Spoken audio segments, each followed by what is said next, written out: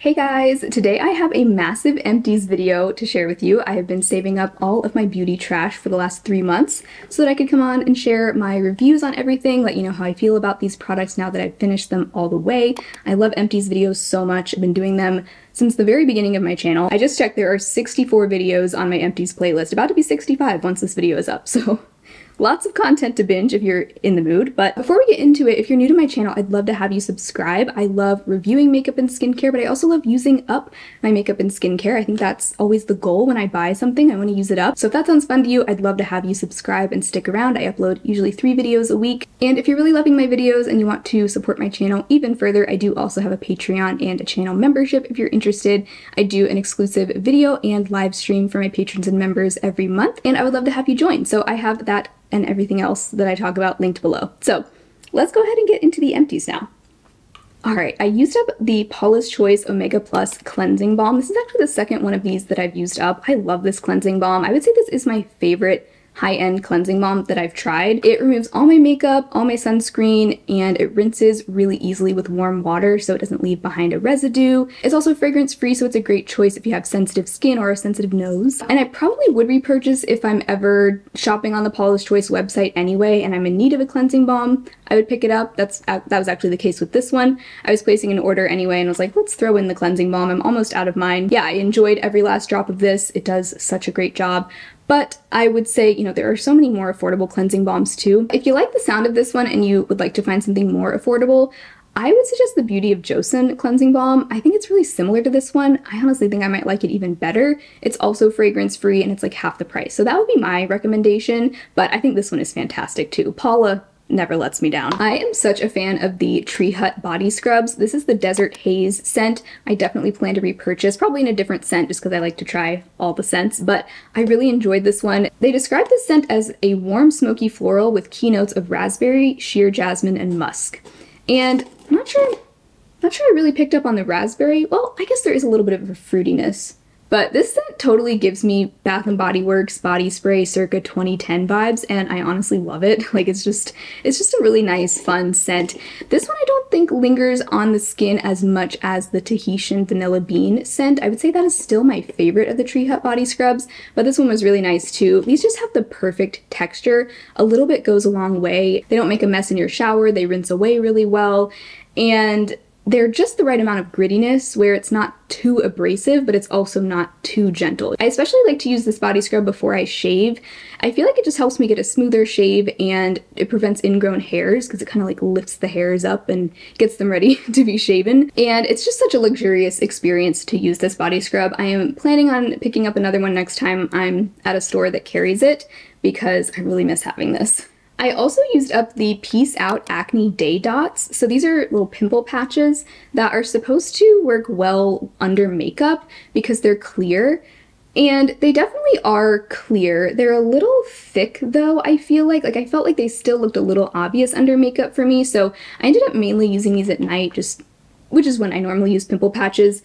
And they were okay, but I didn't like these as much as the Alba Botanica acne patches, and those I would say are even more invisible than these. And they're not necessarily meant to be worn during the day, but you totally could, I think. I remember those being so invisible that sometimes I would forget to take them off in the morning after uh, sleeping with them on. So I would suggest those over these. I also think they're more affordable. And the other thing I didn't love about these is they didn't do as good a job extracting the gunk from the pimple, which for me is like the whole point of a pimple patch. Like, I love it's, it's just so satisfying to put a pimple patch on at night and then wake up the next morning and it's like completely dried out the pimple and got all the gunk out. I just love that. But this these didn't really do that. So I was kind of disappointed. Didn't love this. I, I used them up and they were fine, but I definitely want to get those Alba Botanica acne patches again. Okay, let's get to some makeup empties now. This is an exciting one. I actually used this up months ago, but then I reused the compact to make a Franken blush, so it just never ended up in my empties until now. But this is the Becca Mini Highlighter in Champagne Pop. I love this highlighter. This is like the OG highlighter formula, but I still feel like it holds up even against highlighters that have come out much more recently than the Becca ones. I just think they're fantastic. They definitely do pack a punch. They're not the most blinding highlighters of all time, but they're pretty intense, but at the same time, they just give us such a smooth, even glow and I love them. So I loved it while I had it. I probably won't buy it again because I feel like, you know, I've experienced the Becca highlighter formula now I probably would just like to move on to something else. I have a lot of other highlighters I want to use up in my collection too, so um, but I had a great time with it. I loved it, and I would recommend it if you are in the market for one. They do still sell a few of the shades, even though Becca went out of business. They sell a few of the shades under the Smashbox brand now. All right, for those of you that know the saga here with the CoverGirl Lid Lockup Eyeshadow Primer, I'm here to update you. It only took me nine months to finish the remaining product after removing the stopper. And I am someone, I wait until the very last minute to remove the stopper. I want to wait until I physically cannot get any more product out. And there was still so much left in here. I really enjoyed this eyeshadow primer though. It did a great job holding my eyeshadows in place. I never had creasing when I used this. It, it does work really well and it's a great value. I would just prefer a squeeze tube because it's just easier to get every last bit out. Kind of bums me out. Like I would estimate at least a third of the product was left in here when I removed the stopper. And you know, most people are going to throw it away before that point. So it just kind of makes me sad that like so many people are probably wasting a ton of product with this. I do want to say this is one of those eyeshadow primers that does maintain a little bit of tackiness even after it's dried down onto your eyelid it stays a little bit tacky, so I often found it necessary to set this with powder, at least from the crease up, just to help with blending, because sometimes I found that mattes didn't blend as well over this primer as they could because of that. But all in all, this is a great product. I would definitely consider repurchasing it, but only if they changed the packaging. Because I'm just a little annoyed that it, I mean, yeah. But it is really satisfying to see it totally empty now. There's a tiny bit left, but it started to dry out, so I was like, I think I think it's time. it's time to move on. Also from CoverGirl, I finished up the Perfect Point Plus eyeliner in espresso. I think this is a really user-friendly eyeliner formula. It's not the kind of eyeliner that's going to set and be completely waterproof or anything, so it's probably not the best for the waterline, but it's really easy to either wing out or smudge out with a brush, and so that's what I really liked about it. I also liked how fine the tip is. I do have to caution you though, because another shade of this that I had, I think it was the shade Charcoal, the packaging on that one stopped clicking up any liner, even though I know for a fact it wasn't empty because I didn't use that one nearly as much as I used this one. I do think this one is completely empty because I've been using this a ton over the past like two years. But this packaging, because it's not retractable, you can't twist it back down. So there's no way to tell how much is left. And if it stops clicking up, it's like, oh well, like you just have to throw it out. So because of that, I probably wouldn't recommend this. I'm not planning on repurchasing these because I don't want to risk that happening again. But I mean, otherwise, I really enjoyed it. I, I mean, I think there are plenty of great brown pencil liners out there. Let me know if you have any recommendations, but I did enjoy my time with this one. Ooh, okay, this is one of those rare foundations that I loved from beginning to end. This is the ColourPop Pretty Fresh foundation. I wore the shade Fair 30N. This is so good. I don't think there was a single time I used this foundation that I wasn't happy with it just such a reliable and consistent foundation. A lot of foundations I will change my mind about by the time I use them up because, you know, my skin is always changing, the weather is always changing. I have had this foundation for two years and I loved it every single time I used it. This is one of those foundations that for me, it works well under basically any circumstance. No matter what my skin is going through, this always looks so good. I even used this on my friend for her wedding and this was an outdoor wedding in the middle of summer in Georgia when it was like 90 million degrees outside, super humid, and it looked so good on her. Even by the end of the night, it looked amazing. Now, I will say I also used Urban Decay All Nighter Setting Spray, which I'm sure you know, also deserves a little bit of the credit, but my friend liked it so much that she ended up buying one for herself after that. So I think that says it all right there. There's really not another foundation that I recommend more than this one. It has medium coverage and a satin finish, and it's just one of those formulas that I feel like works for a lot of different skin types.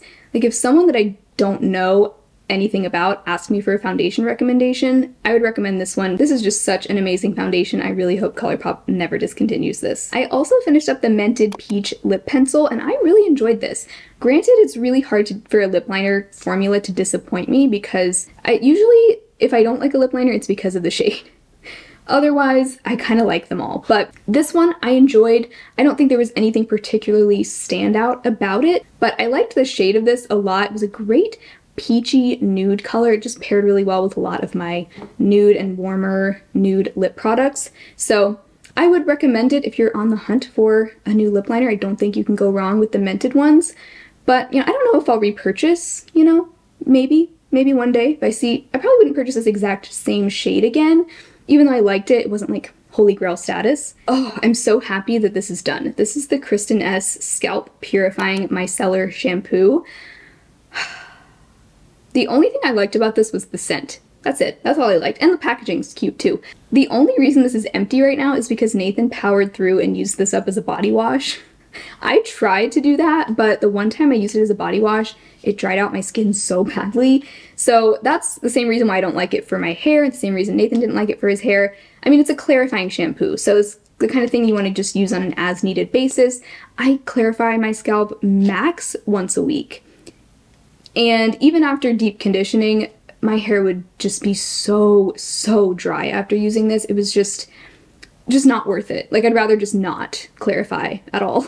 Oh, I did also use this to clean the bathtub one time when we ran out of regular bathroom cleaner, and I would say that was my favorite way to use this. I would say save yourself the trouble and get the Suave $2 daily clarifying shampoo. That one is worlds better than this one, and it's also like what, like a tenth of the price? But luckily, I think this is the only product in this empties that I actively hated. So that's good. This, however, I loved. This is the iUNIK Centella Calming Daily Sunscreen, and this continues to be my number one facial sunscreen. I actually have some backups that I'm really excited to open. Probably will wait until I use up some of my other sunscreens, but I love this so much. It is really hydrating, really soothing to sensitive skin. It gives a little bit of a glowy finish without feeling greasy, and like most Asian chemical sunscreens, you literally can't feel it on your skin. It just feels like a moisturizer.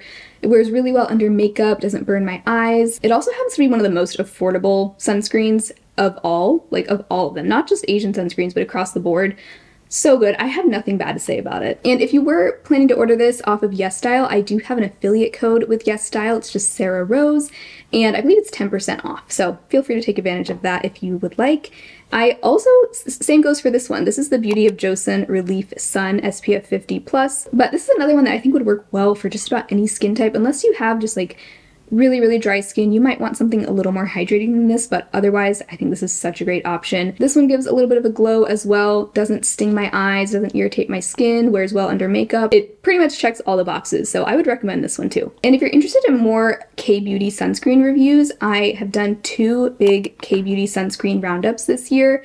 Uh, one of them focused more on mineral and hybrid sunscreens. There were a few chemical sunscreens in there, and the second one was focused on just chemical and hybrid K-Beauty sunscreens. So I'll link both of those below. In both of those videos, I showed demos of me applying both of these and a bunch of other ones. So I'll link that below if you are curious. Ooh, okay, this is my second or third bottle of this. I love this shampoo. I think there's been one of these in every one of my empties videos in 2023 so far. It's the Dove Dryness and Itch Relief Anti-Dandruff Shampoo. This is my favorite anti-dandruff shampoo. I already have another one in the shower right now. I feel like I'll probably always have one of these on hand.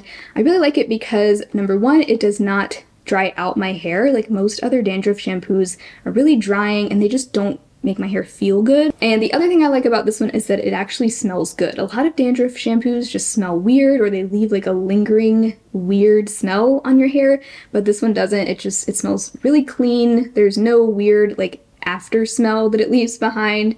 And yeah, I really love it. So I think I will continue to repurchase this shampoo. You definitely do have to keep using it consistently to maintain the results. Like this is pretty much the only shampoo I use, except for occasionally I use the Suave Daily Clarifying Shampoo if I need a good deep cleanse.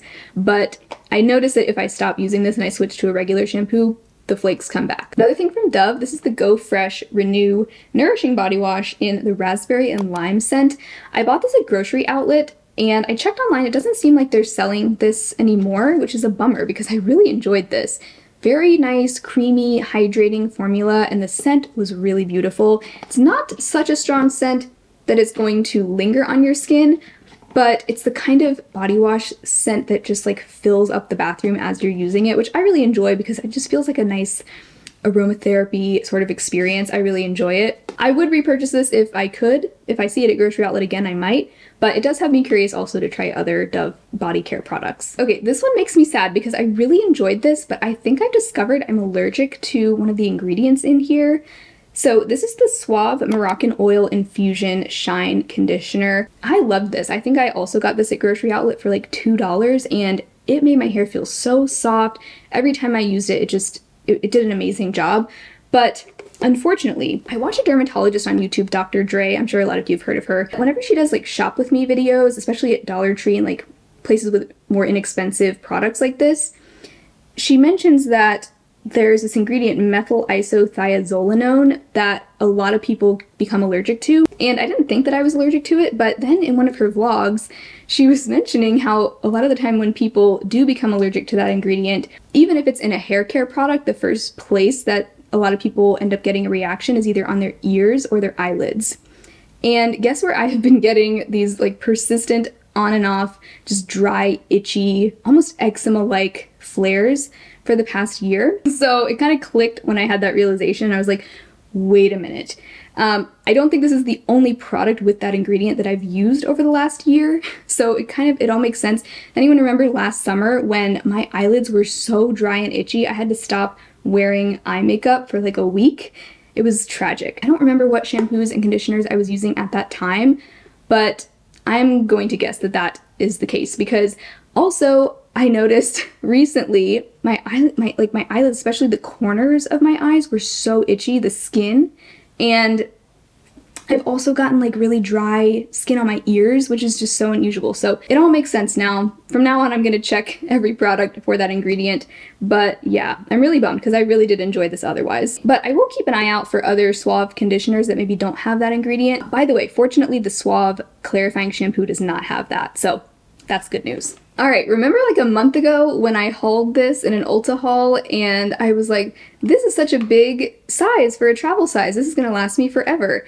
It's empty now. So this is the Not Your Mother's Curl Talk Cream and I really like this. I mean, obviously because I used it up so quickly. I have pretty much been using this almost every day since I got it. So I got the travel size just so that I could try it out because this is the first curl cream I've ever used to my knowledge like in my entire life. I remember a long time ago I would use mousse in my hair like in middle school.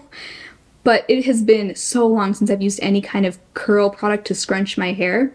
But I really enjoyed this. I actually do have it in my hair today. It says it's for all curl types. I, for context, I have pretty fine and thin hair and my curl, I don't know what my curl type is. I haven't gotten that deep into it yet, but I would say I have kind of a mix of loose ringlets in my hair and some waves. It's like a cross between wavy and curly, I would say. So that's how I would describe my hair type. I really felt like this did a good job defining my curls. A lot of you guys told me the best way to use any sort of curl cream like this is to apply it to like really wet hair. As soon as you get out of the shower, put it in. So that's what I've been doing and it does such a good job. It does make my hair a little bit crunchy as it dries, but as it's drying, I'll kind of continue scrunching it with my hands. Or if I want to add even more volume, I'll use my hair dryer with the uh, diffuser that's meant for curly hair and that'll help just soften them a little bit. And I also feel like this did help reduce frizz. So I'm definitely going to consider getting this again but also I'm kind of new to this curly hair journey so I kind of am interested to try other curl creams as well. So let me know if you have any favorite curl creams you think I should try but this one will definitely be on my list to pick up a full size in the future unless I find something I like better. This is the Osea Undaria Collagen Body Lotion. This is a more runny liquidy body lotion, which I did really enjoy in the summer because it was really quick to sink into my skin. I, it just blended in instantly so I didn't have to sit there rubbing it in and it didn't feel heavy and like stifling on my skin in the summer. I would say if you have really dry body skin though, you might not find this to give enough lasting hydration. It has a light citrusy scent, the same scent that they use in their body oil and body butter. I did see that they carry a fragrance-free version of this as well though, so that's nice. But honestly, I'd be more excited about this if they had other fun scents because I'm just not much of a citrus scent person.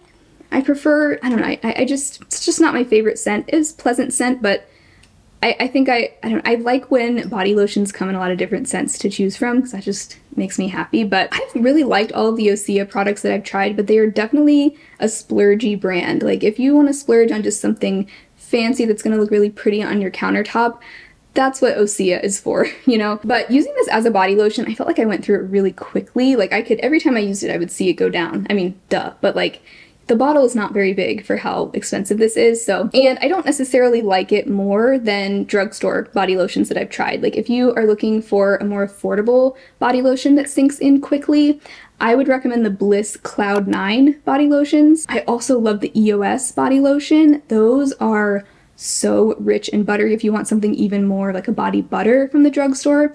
Those are incredible and the vanilla scent is heavenly. Yeah, I really want to get that again because it's been a while since I've had it, but that was one of my favorite body lotions I've ever tried and I would buy that one over this one personally. This is funny. This actually has a similar scent to the Osea body lotion. It's, it's kind of a citrusy scent. This is the Ole Henriksen Strength Trainer Peptide Boost Moisturizer. I enjoyed this. I thought it was nice, but wasn't anything life-changing either. The nice thing about this though is it does kind of have the texture of a gel cream, but it felt a lot more hydrating than most gel creams do. Like it really did feel like it left some good lasting hydration on my skin. I actually found the texture of this pretty similar to the e.l.f. Holy Hydration Face Cream, and that one I prefer because it is cheaper and it also comes in a fragrance-free version. So I would honestly recommend that one over this one, but I, I did enjoy this. Like if you can get a super steep discount on this, then I would say go for it because it was really nice to have, but I don't see a reason to get it again. Okay, this I'm really sad about. I normally don't include expired products in empties, but I just wanted to share this. So this is the Cocokind Chia Facial Oil, and I am so sad, but this, the smell of this has changed. Oh, yeah, the smell has gone rancid. yeah, I think I started using this in March of this year, and I noticed the smell started to turn probably five to six months in. So it's a bummer because on the packaging it says it has a 12 month shelf life. So I don't necessarily know if I should fault this product though because we did move earlier this summer and this was like packed away in a U-Haul for hours. So I don't know if I can 100% blame the product for that. But I loved this facial oil so much that I think I'm actually going to buy another one and just give it another chance. I just want to give it one more chance. I have somewhat of an attachment to this oil because it basically single-handedly cured my chronically dry, flaky tretinoin skin and I just, I'm eternally grateful. Not that when I'm using this I don't still deal with the occasional dry patches, and granted I also haven't used this in the winter yet, but basically since I started using tretinoin, I would just constantly be dealing with dry skin, really irritated skin. My skin barrier would just constantly feel disrupted. Once I got everything back under control, it would get it would get super dry again, but this has really, really reduced the amount of dryness that my skin gets now. To replace this, I've been using the Ordinary Rosehip Seed Oil, and I, I like that one, but not as much as this one. I just feel like it doesn't have that, like, delicious juicy feeling on my skin. I don't know how to describe it, but I'm also suspicious that the ordinary oil is breaking me out. I'm kind of doing an experiment now to see if that was the culprit, but I miss this oil. I don't know if I'd recommend this. Stay tuned because I do want to buy another one and see if it lasts a full year instead because I was about halfway through it and it, it just turned on me a month or two after we moved. So I think it, you know, it could have had something to do with that. But anyway, all right, the Billie Whipped Shave Cream. This is another example of a product that I would like more if it came in more fun scents. This scent is called Fresh Squeezed Grapefruit. I don't know, to me, this smells like the Osea body lotion and the Ole Henriksen moisturizer. It's another one of those just, I don't know, to me it's a boring scent. I just don't like, I, I just don't care for that scent. If this had like a vanilla scent or just something really warm and yummy, I would probably repurchase it because otherwise it is a really nice shaving cream. It comes out like a pretty rich cream. It lathers up a little bit and I feel like I always get a really smooth shave with it. But I think I'm going to go back to the Tree Hut shave oils now. I had one of those a long time ago and I really liked it. So I think I'm going to go back to that and maybe get a new scent because I'm I just love all the scents they have. Also finished up the Bliss Clear Genius Body Acne Spray. This has 2% salicylic acid. I would spray this on my chest and upper back when I would get out of the shower and I did feel like it helped to keep my body acne at bay. Didn't completely get rid of it, but it definitely made a difference, and it lasted me a good long time. Right now, I'm using the Versed Backup Plan Acne Body Mist, and I think I like that one better, mainly because of the packaging. Some of this blue coating started to flake off, or like rub off onto my fingers. And also really like the last month's worth of product of this was really hard to get out. Towards the end of this, I could only spray it standing up like this, which made it really hard to spray onto my back because normally I would hold it like this to spray onto my back. So it just got kind of annoying towards the end. So I thought this did a good job, but I probably wouldn't repurchase it. All right, last few things. We have the Glow Recipe Avocado Ceramide Moisture Barrier Cleanser. So this is supposed to be really nourishing for the moisture barrier, which is great. Um, this does lather up a little bit though, which for me, that always leaves my skin feeling stripped no matter how hydrating the cleanser is. So I ended up using this up as my body acne cleanser. When I shower, the very last step of my shower routine is I always take a face cleanser. Usually if it's a face cleanser I don't like on my face, that's what I will use on my chest and back.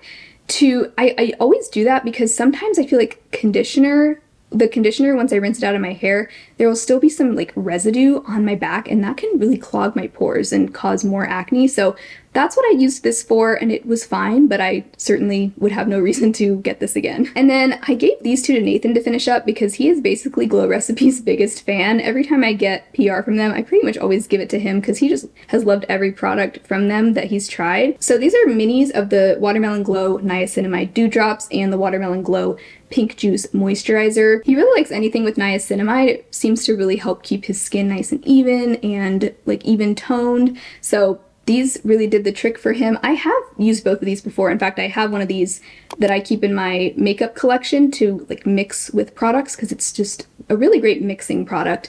But it leaves a really pretty glass skin glow, especially if you're not wearing makeup. It really shows through. So I thought this looked really good on his skin. Um, and then the Watermelon Glow Pink Juice Moisturizer. I have used this before as well. For me, this is this is like the definition of a gel moisturizer. It was it's very runny, almost feels more like a serum, so definitely not hydrating enough for me. But if you don't have dry skin or if you don't feel like you need a ton of moisture, then you might like this one. Nathan enjoyed it. Um, I think he's prone to getting clogged pores from uh, moisturizers that are too heavy, and so this was a good one for him, I think. And now we are left with a nice empty empties bin. Really excited to see what else I can use up by the end of the year. And if you love empties videos as much as I do, like I said, I've done over 60 of them on my channel apparently, and I have them all saved to a playlist. So feel free to binge. But thank you guys so much for hanging out with me today. I hope you had fun. If you did, be sure to give the video a thumbs up, subscribe, all of that good stuff. Also, feel free to check out the Patreon or the channel membership if you're interested in supporting my channel even further. Otherwise, I hope you all have an amazing rest of your day, and I will talk to you again very soon in my next video. Bye!